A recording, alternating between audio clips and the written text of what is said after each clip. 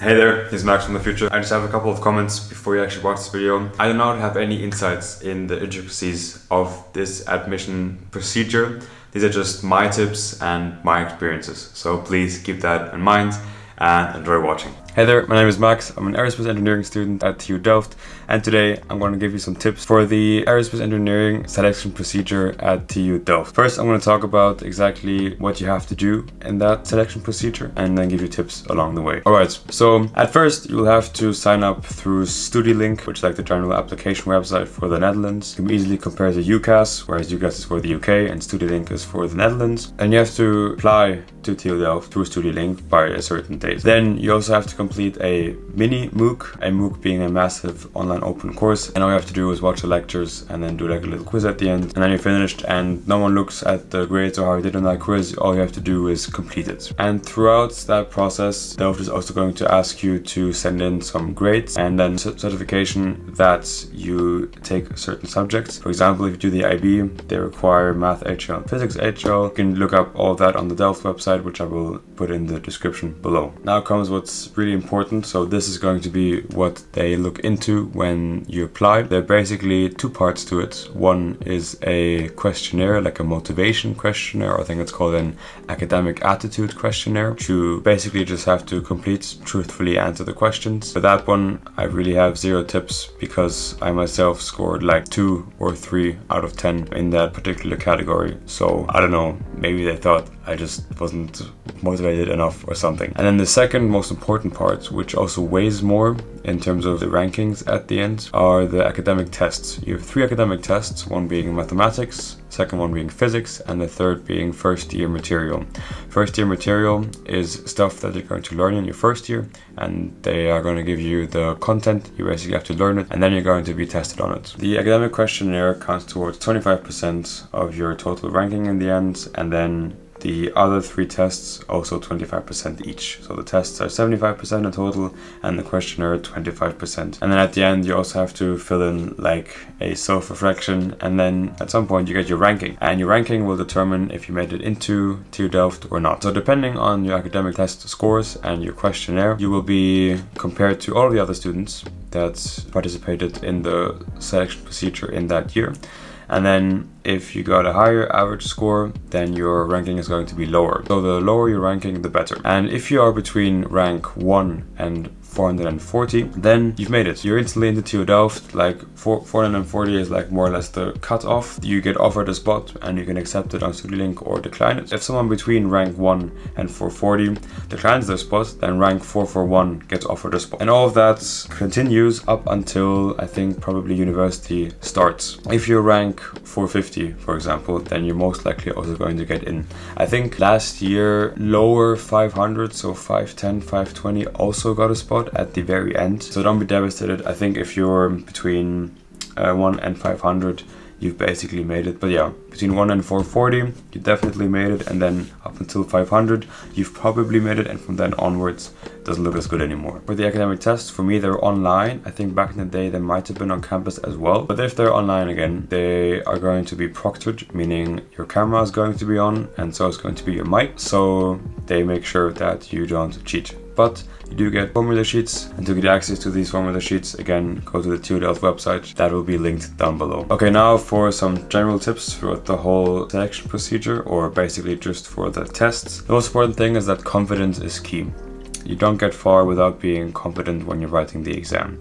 And in order to be confident, you have to have made sure that you studied enough and that you know the material. A syllabus is provided per exam, so you know what you have to know. So go through every bullet point and make sure that you know everything about that bullet point. And also look at the formula sheets and make sure you know what every symbol on there stands for and where and how these formulas are applied. Then also, there's a rumor going around, and I'm pretty sure it's true, that the tests are designed so that actually you can finish them in the time that is given to you. So if you don't finish the tests, that's normal. I don't know a lot of people, or actually I only know two people which managed to finish one test. So if you don't get to the end, then don't worry about it. I mean, that's totally normal. Now also, one bad test doesn't mean it's the end. You'll have two more to recover and you probably did better than you think. Even though you think you only got a couple questions right, sometimes that might just be enough because these tests are really, really hard.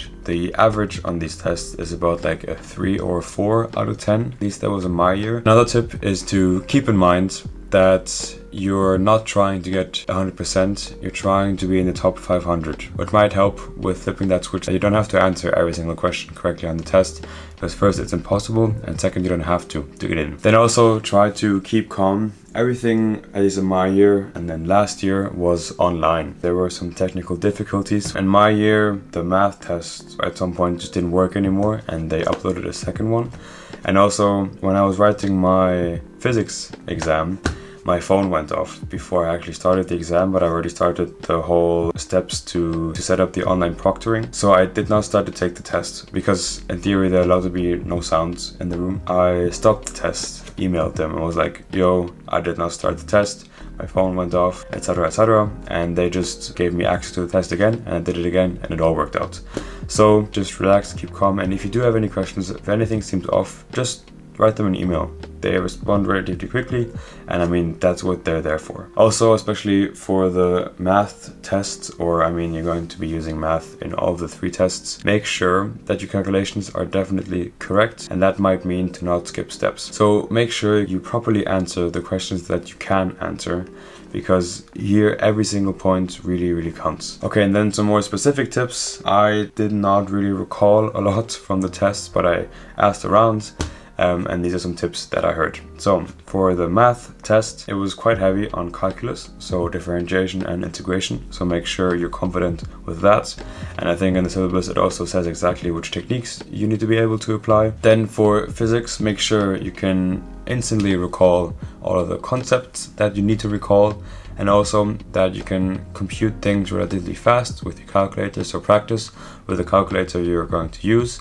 Also for the calculator make sure you're actually using the one you're allowed to. There's a whole list of calculators you're allowed to use and if it's not on there just email them and then they'll tell you. And make sure you know how to use scientific notation. I think that's how it's called. So if you have a number times 10 to the minus something, some people didn't know how to use it. They didn't use it in high school. So if you don't know how to use it, make sure you know how to use it because if you input a really small, really high number, they want it in scientific notation. For example, you want to write 10 to the minus 21, you write e minus 21 and then that, that'll get recognized as 10 to the minus 21.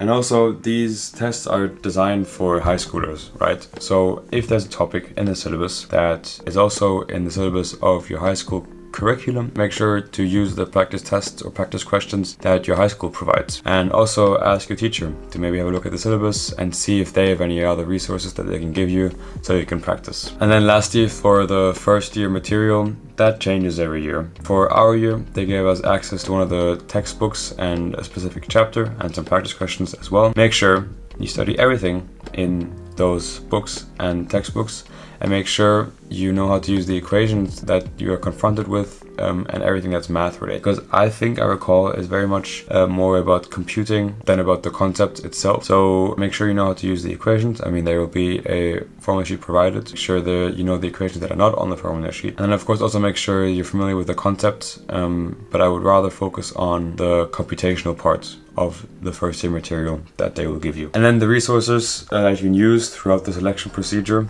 is me. If you have any questions, feel free to ask me. Hopefully I can answer them. Just DM me on Instagram. Then use the subreddits of TU Delft. I think there's one specific subreddit for the AE selection procedure and also for CSE. And then just email them. It's going to be an email provided. You can find it online. Email them and they do respond quite quickly and they've always helped me out if I had any questions. And then just tips for later. But if you did get in, then your ranking number does not matter at all. No one cares. I mean, occasionally the question is thrown around, oh, what ranking did you get? But in the end, no one cares. And it does not define you at all. These are all the tips that I have. Again, if you have any questions, feel free to DM me or check out the subreddit. And if you are an incoming first year at any university, if you want to know how much I spent in my first year at university, then click on this video.